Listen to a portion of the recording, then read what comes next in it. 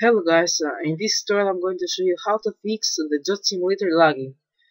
So the first thing you should do is to open your game and go to options. As you can see the game is lagging as fuck. Now go to the field of view. Just reduce it to 50. Now go to advanced and untick these three options. Okay?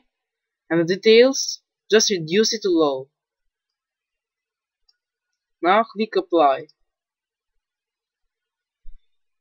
If your if your game is uh, lagging already just go to my computer open your C drive go to program files find the Goat Simulator uh, folder.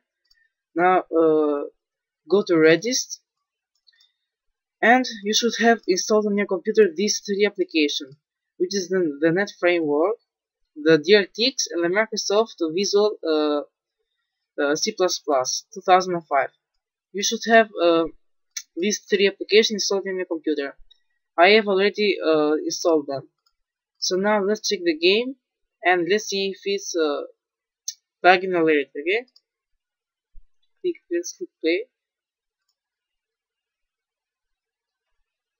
As, as you can see, the game is so fast.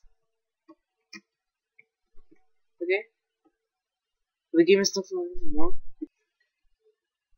So, if this works for you, just leave me a sub subscribe, like, and a comment. So, uh, thank you for, for watching and take care. Bye.